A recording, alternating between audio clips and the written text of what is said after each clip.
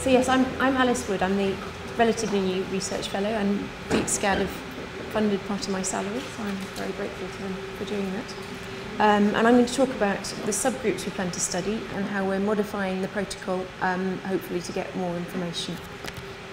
Um, so just to summarise what I think you know, the research programme so far has studied more than 200 patients, gained a great deal of information that we didn't know even three years ago. MRI scans, ultrasound, biopsies, blood tests, all giving us some information on why people get SCAD. We then need to work out what to do next. So, um, there's clearly a role for female hormones. The overwhelming preponderance of female patients in this condition makes us believe that very strongly. Um, there may be a genetic tendency, although we haven't noted a strong family, family history so far, and Dr. Adlam will talk more about this later. Some patients have other abnormalities of their arteries, fibromuscular dysplasia, but clearly not all, so that doesn't answer everything. And then more intriguing questions. Many of our patients um, describe psychological stress or very emotionally charged events before their SCAD. Some patients report physical exertion, and then we wonder if there's a link with coronary spasm, particularly as patients often get pain after the SCAD that resembles that seen in people with spasm. One of the groups of patients we hope to study are the male SCAD patients. We know that SCAD is more common in women, but is it 90% women, or is it that we're missing some cases in men? We know that conventional heart disease is more common in men, so it's certainly not out of the question that a proportion of younger men with SCAD are being badged as having atherosclerotic heart disease. And then why do men get SCAD? We clearly can't blame estrogen and other female hormones. Is it the same condition and these are just men who are particularly unlucky? Or is it something slightly different? We wonder if the predisposing factors are different and perhaps whether exercise may be a big, bigger factor in these patients. Um, but we hope studying this subgroup will help clarify things for the group SCAD patients as a whole. And for this we'll need both SCAD patients, hopefully to volunteer for our research, and we'll also be looking for healthy volunteers um, to compare our data with. So another cohort we hope to study are those who've had recurrence for two main reasons. Clearly, risk of recurrence is a major fear for many of our, if not all of our SCAD patients. And if we can pinpoint features that suggest someone's at particular, particularly high risk of recurrence, that would be extremely useful in management. It may also be that people who have recurrence are people who have a more overt manifestation of the SCAD um, phenotype presentation, which may mean that we can get more useful information with a small number of patients and detect mechanisms more easily.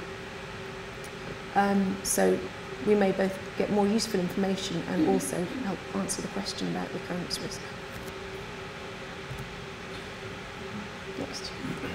Other subgroups that we don't have such a detailed plan for as yet but are interested in studying include peripartum SCAD, um, SCAD across the menstrual cycle, so whe whether the vascular tissue changes for different phases of the menstrual cycle, and those patients who get ongoing chest pain versus those who don't.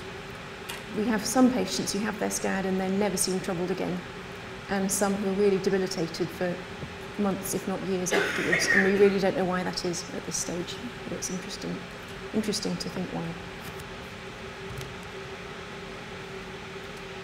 So, coming on to the protocol, um, changes that we're hoping to implement include addition of stress to our cardiac MRI scans.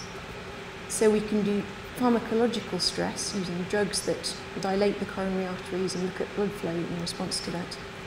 And I'm also planning to use a form of psychological stress, nothing, nothing too traumatic, um, but something that makes people feel slightly stressed whilst in the scanner um, to see whether their arteries or their heart responds differently to healthy volunteers. We really don't know whether this will be the case, so it's a very interesting project to look into. We want to include exercise testing, and we're going to include 24-hour heart rate monitoring. Clearly, if we find something we think is dangerous on one of these tests, we will let you and your doctors know, but they're all basically hypotheses at present, so we're not anticipating that it will add to clinical care at this stage. So just to, to go into more detail on the psychological stress, as Dave has said, um, many people report stress before their SCAD event. But if we went out into the hospital or on the street and said to people, have you had something stressful happen in the last month? Probably a lot of people would say yes. And those who've had a major life event like a heart attack, probably even more of them would say yes.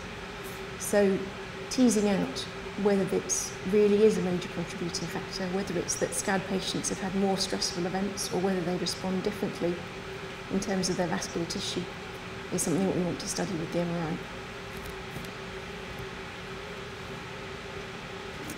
Exercise. There are two reasons really that we're interested in this.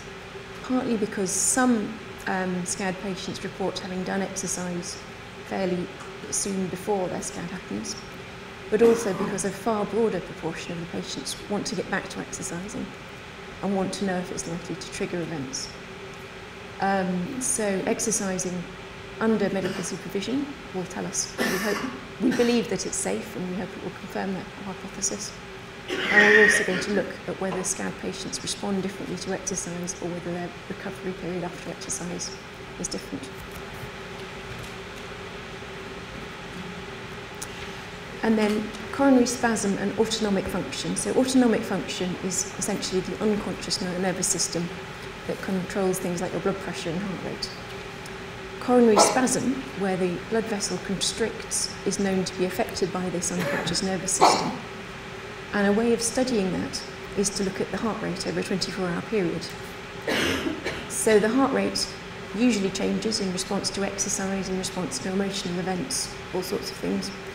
But it also has an underlying variability across the 24 hours. And this differs in health and in disease. And we're looking to study essentially whether this is different in people who've had SCAD as a marker of looking at the nervous system.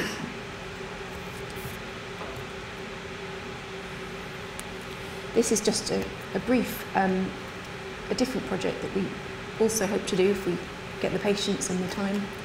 So looking at patients more acutely.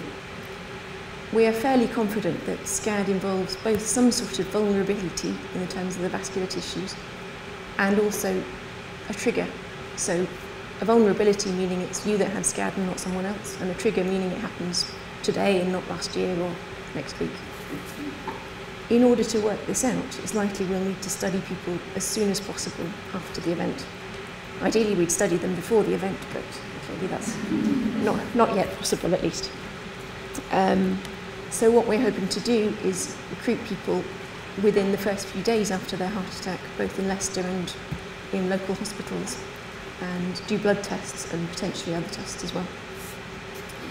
One of the questions I know I was asked to discuss is whether we will have a blood test for SCAD. It would certainly be very useful if we could. Sometimes the SCAD diagnosis is clear cut. Sometimes, even for experts, it can be difficult to be sure. And I know Dr. Adlam and I look at angiograms and sometimes say, we're really not sure if that's a SCAD or not. Um, and having a blood test would be useful in those difficult cases, and in some cases might even mean we could avoid angiography. The difficulty is that in heart attacks, many things change. Many markers are released from the heart, markers of heart damage, inflammation. It may be difficult to tease out a specific SCAD change, but we'll look for it and we'll, we'll see where we go. So, um, to summarise, we've learned a lot about SCAD. We know a great deal that we didn't know even three, four years ago. Um, but we don't know everything. There is much less yet to learn, including why it happens, why it recurs, and the best way to treat it and prevent recurrence. Um, our ongoing research, which is supported by BeatSCAD, is looking to answer these questions.